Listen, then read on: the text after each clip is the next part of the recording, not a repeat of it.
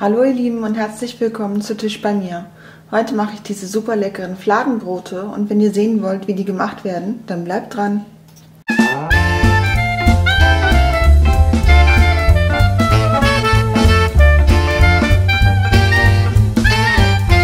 Für die beiden leckeren Fladenbrote benötige ich 550 bis 600 Gramm Mehl, ein Ei, das werde ich nachher trennen in Eigelb und Eiweiß, ein Teelöffel Zucker, ein Teelöffel Salz, ein Teelöffel Schwarzkümmel und Sesam gemischt oder je nachdem, was ihr zu Hause habt, ein, 3 Esslöffel Olivenöl, 200 Milliliter lauwarme Milch, 200 Milliliter lauwarmes Wasser, ein Päckchen Hefe und nachher noch so einen Esslöffel Öl, um die Fladenbrote zu formen.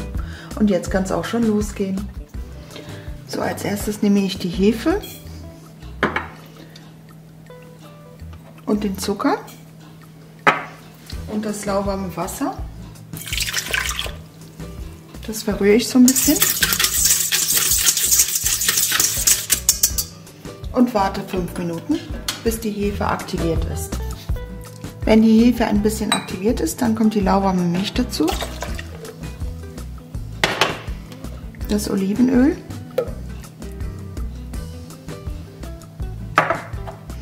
Ein Teelöffel Salz. Und äh, das Ei habe ich getrennt in Eiweiß und Eigelb und das Eiweiß kommt jetzt mit in den Teig rein.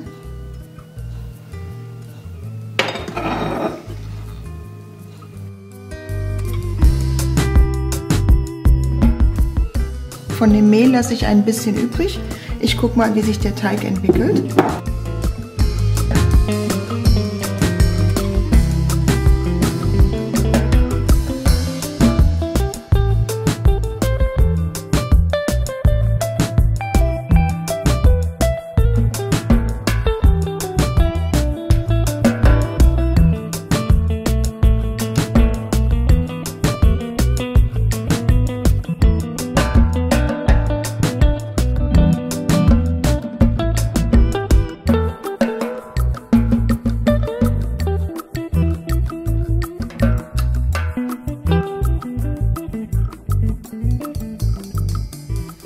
Habe den Teig jetzt genau 5 Minuten kneten lassen und jetzt werde ich ihn ein bisschen formen und dann einfach in der Schüssel eine halbe Stunde gehen lassen.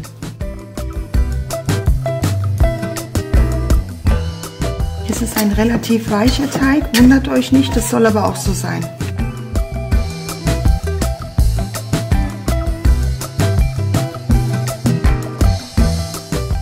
So lasse ich den Teig jetzt eine halbe Stunde gehen.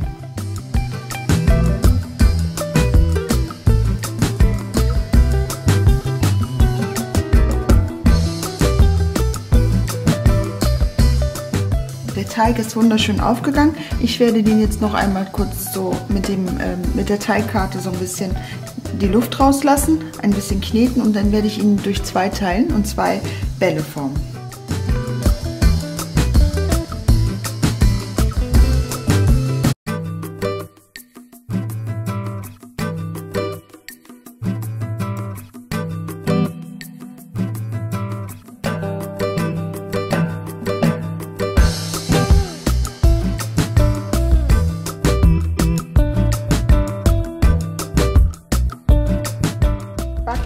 Das Backblech habe ich mit Backpapier belegt.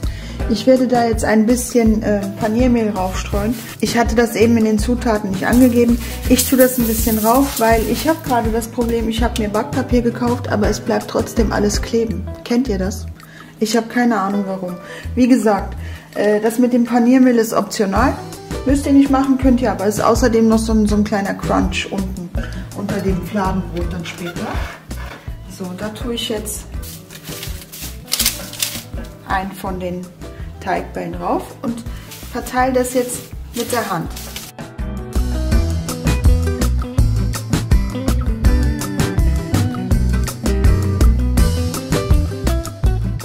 Ihr könnt auch hin und wieder ein bisschen die Finger in Öl tunken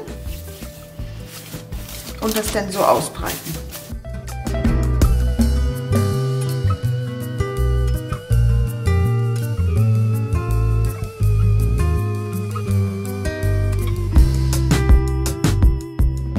Ich habe den ungefähr so ein Zentimeter, nicht ganz, ja, ich würde sagen so ein Zentimeter dick, äh, ein Zentimeter dick ausgedrückt. Der geht ja nochmal hoch, der wird jetzt nochmal gehen, ähm, der Teig. Also das erste Fladenbrot ist jetzt fertig. Ich tue da jetzt ein sauberes Tuch drauf und lasse es nochmal 15 Minuten insgesamt gehen.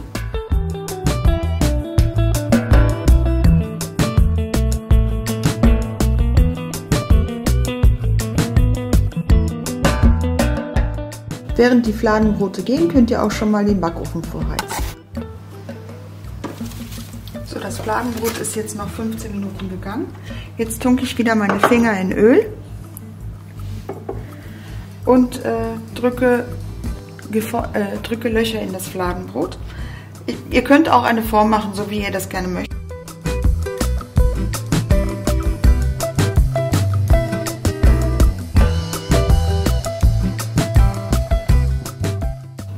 Torte portionieren, weil ich später das dann besser teilen kann und dann kann man sich so ein belegtes Fladenbrot machen.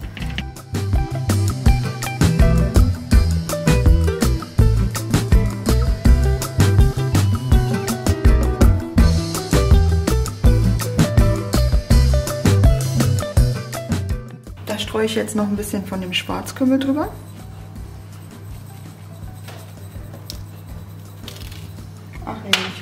Vergessen. Ja, natürlich. Das Eigelb habe ich mit ein bis zwei Teelöffel Wasser so ein bisschen verdünnt. Das sollte natürlich zuerst drüber und dann der Schwarzkümmel, aber okay. Passiert. Kann vorkommen.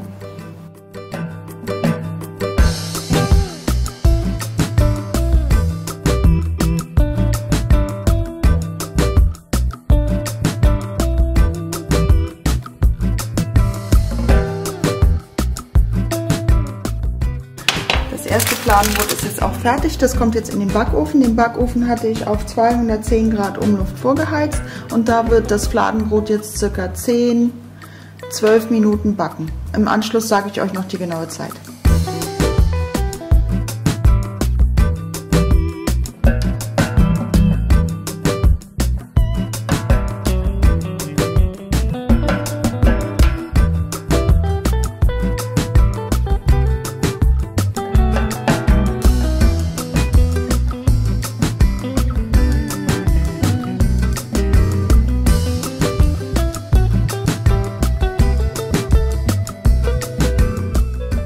Das erste Fladenbrot ist jetzt schon rausgekommen. Ich will euch auch mal zeigen, wie es unten aussieht. Ist schön knusprig. So, das zweite Fladenbrot ist jetzt auch fertig. Es sieht auch super lecker aus. Probiert dieses Rezept unbedingt mal aus. Es ist wirklich einfach zu machen und binnen einer Stunde sind die Fladenbrote auch fertig. Wenn euch das Video gefallen hat, freue ich mich über einen Daumen hoch und vergesst nicht meinen Kanal zu abonnieren. Tschüss, bis zum nächsten Video.